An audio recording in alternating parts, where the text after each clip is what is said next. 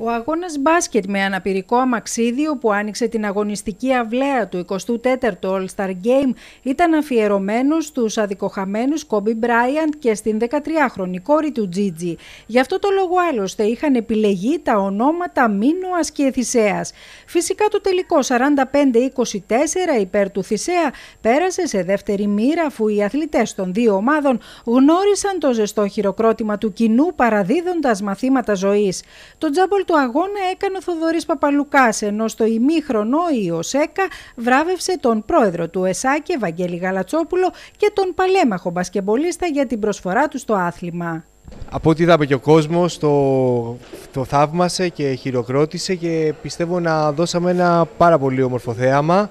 Ήταν παιδιά από όλες τις ομάδες και πιστεύω ότι ήταν οι καλύτεροι αθλητές που έχουμε αυτή τη στιγμή στο πρωτάθλημα και στο κύπελο. Όλα τα παιδιά δώσαν τον καλύτερο τους σε αυτό και ο κόσμος το χάρηκε. Ε, θέλω να ευχαριστήσω πολύ το Δήμο του Ηρακλείου και την ΕΚΟ που στηρίζει το All Star για ακόμα μια χρονιά. Σήμερα είμαστε για ακριβώς αυτό το λόγο εδώ.